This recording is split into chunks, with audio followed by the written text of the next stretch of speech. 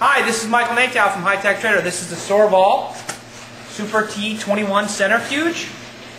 This particular centrifuge has a SL-50T rotor in it.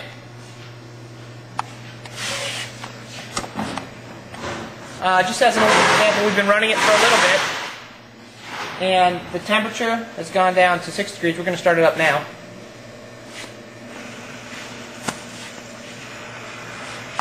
Uh, what to watch for is the RPMs, of course, increasing. And we'll bring that temperature down to 4 degrees, the set point. The room temperature is about uh, 20 degrees. As you can see, the RPMs are going up to about 15,000 RPM.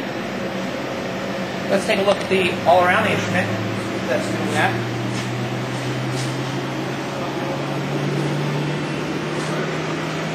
Okay, the other side.